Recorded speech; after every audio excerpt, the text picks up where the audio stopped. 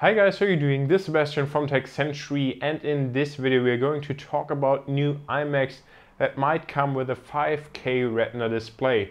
So let's get started after the intro.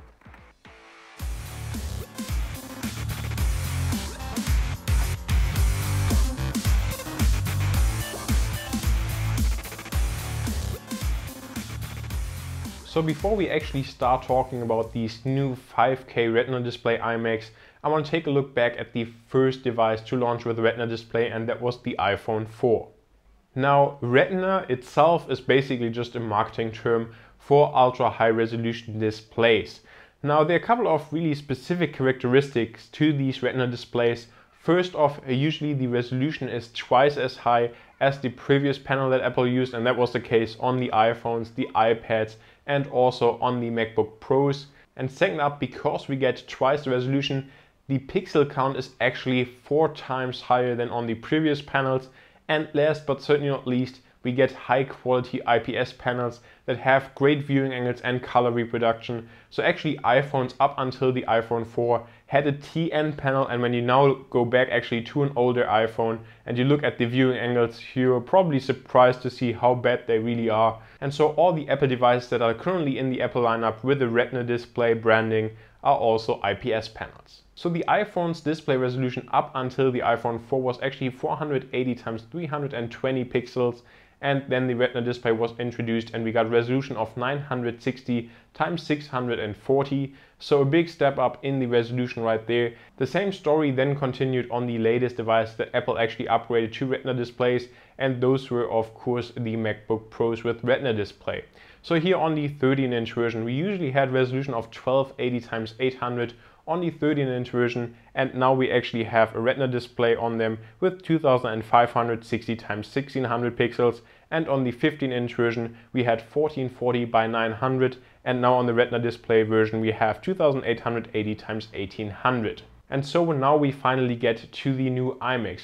Now currently the 21 inch iMac has only a resolution of 1920 by 1080, so full HD resolution and this is actually also the same resolution that's found on the iPhone 6 Plus. So you can see right there how outdated this is. And then the 27 inch iMac has a resolution of 2560 times 1440, which is also called 2K. So a good resolution, but especially considering the size, not great by today's standards. So according to various sources, Apple is currently in the final testing process of these new Retina display iMacs. Now you've probably heard 4K all over the media in the last couple of months and while 4K is certainly the new trend, 4K actually wouldn't be enough to also bring in Retina display here to the new iMacs, especially the 27 inch version because as I mentioned, usually Apple just doubles the resolution, which is also good for scaling of course. And so here on a 27 inch Retina iMac, we would actually need a resolution of 5120 times 2880 pixel.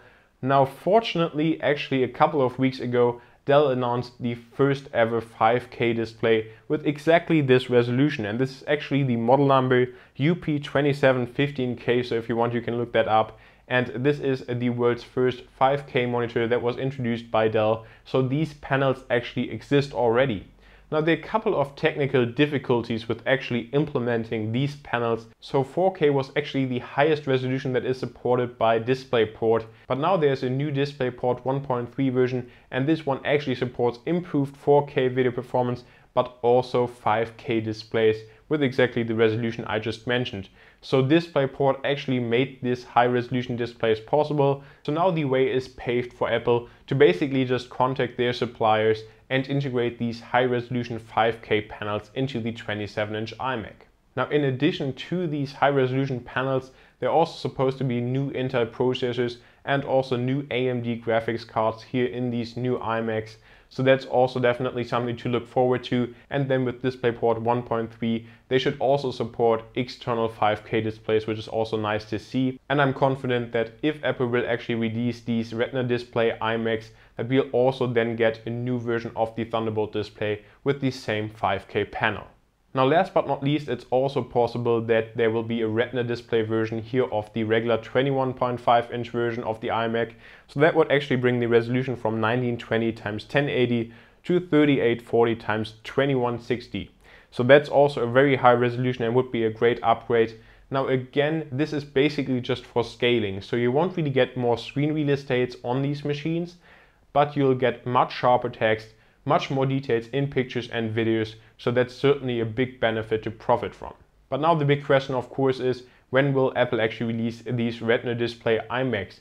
And it seems like they will be announced in just a couple of weeks in the Apple event that will take place in October, not only to launch new iMacs, but also to launch the new iPads and also macOS Yosemite. Now in terms of price, we don't really have any information here on these new iMacs, but I'm confident that they will be even more expensive than the current generations and I would basically see a similar strategy to the ones on the MacBook that Apple chose when they were released so that the new Retina iMacs will be actually a premium option over the regular iMacs so that the regular iMacs won't go anywhere for now at least and that these Retina iMacs will be released additionally to them because that would also give Apple the opportunity to really spec them out with SSD storage only and then have just a high-end version with a great display with SSD storage standard and then sell them just alongside the regular iMacs and that would also just keep the price down for the entry-level iMac at around $1,000.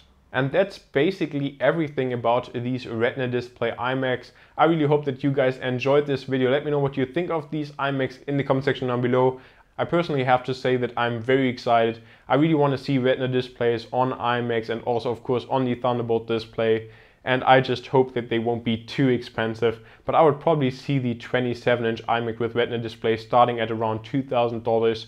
So not cheap, but also not an overkill in terms of price. And I just hope that the new Thunderbolt display will also release for maybe a thousand dollars or maybe a little bit more. But a 27 inch Retina display, 5K Thunderbolt display, that's a mouthful, would be absolutely amazing. And I certainly can't wait. So I hope that you guys are excited as well. And again, that you enjoyed the video. If you did, please make sure to like the video and also subscribe to the channel for more videos like this. See you next time.